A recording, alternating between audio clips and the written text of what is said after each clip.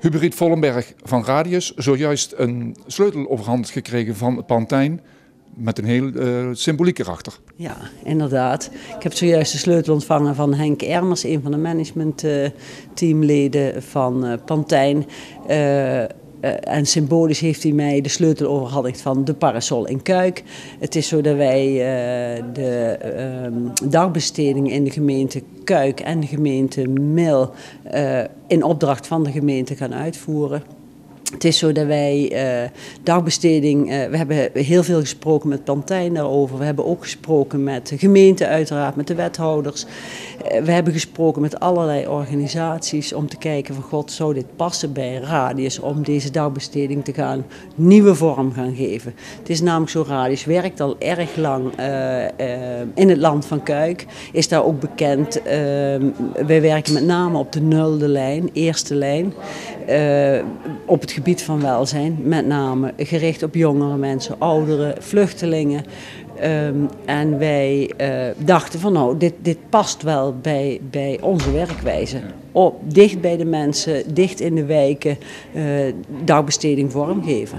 Pantijn heeft uh, de welzijnssector eigenlijk ja, afgestoten. De opvang van ouderen zal door uh, anderen moeten gebeuren.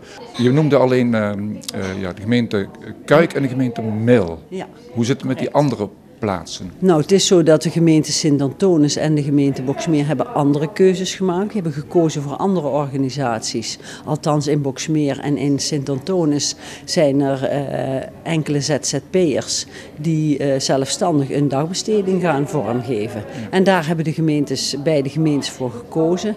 In uh, de gemeente Graven is het wat anders. Daar bood Pantijn geen dagbesteding. Dat deed Brabantzorg. Ja. En daar gaan, gingen ze, gaan zij mee verder in feite.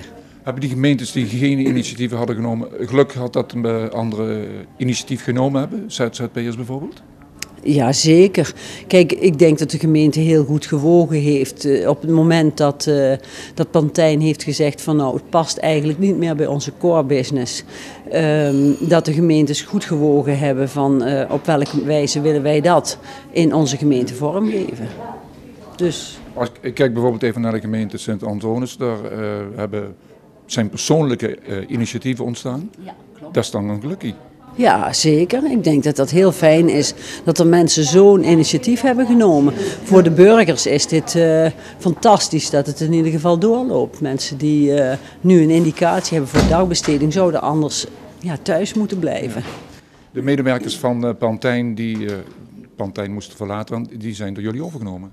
Nee, we zijn niet overgenomen. Het is zo dat wij, uh, wij hebben ook niet de dagbesteding overgenomen van Pantijn. Pantijn heeft gewoon gezegd van, wij stoppen met het, uh, het, aanbieden van dagbesteding aan mensen met een WMO-indicatie, zoals dat nu per 1 januari uh, gaat heten. En de opdracht lag bij de gemeente en de gemeente heeft de opdracht verstrekt. En de cliënten um, hebben een WMO WMO-indicatie. Dus die krijgen wij ook aangeboden vanuit de gemeente. En de medewerkers die um, uh, in dienst, toevallig hebben wij vijf medewerkers aangenomen die bij Pantijn hebben gewerkt. Maar dat is een toevalligheid. Dat is, uh, we hadden ongeveer 100 sollicitanten. En we, hebben, ja, we hopen dat we de beste gekozen hebben. En het toevallig zijn zij werkzaam geweest bij Pantijn.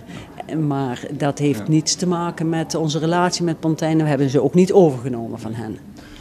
De zorg, dat is duidelijk, die is uh, actueel veel besproken. Uh, wat negatief benaderd. Je kunt ook zeggen, uit al die negativiteit ontstaan er positieve ontwikkelingen? Zeker, absoluut. Ik denk dat de burgers zich meer bewust zijn van dat zij verantwoordelijk gaan zijn voor zichzelf, voor hun omgeving, voor hun familie, voor de buren. Um, wij, hebben dat ook heel duidelijk gemerkt aan de vrijwilligers. Want het is zo dat de vrijwilligers die allemaal vrijwilliger waren bij Pantijn. Uh, um, allemaal hebben gekozen in alle tweede gemeentes, de vier dagbestedingen die wij vorm gaan geven, hebben gezegd wij willen erg graag doorgaan, want wij willen er voor de burgers zijn. Dus ja, dat is natuurlijk fantastisch. En Um, en wat wij ook merken is dat er al meer vrijwilligers uh, zich hebben aangemeld en gezegd hebben: Ik wil graag iets voor jullie komen doen, want ja. het is tenslotte voor onze eigen burgers. Ja. Zijn er ook nog uh, gemeentes waarvan zegt, uh, daar maak ik nog een beetje zorgen over of daar ook iets ontstaat of meer ontstaat? Nee, daar durf ik nu geen antwoord op te geven. Ik denk dat ze allemaal hun eigen en, en een goede keuze hebben gemaakt. En, en dat hoop ik uh, ja, ook dat de gemeente Middel en Kuik, dat wij dat zullen bewijzen als radius zijn. Daar gaan wij ons best voor doen.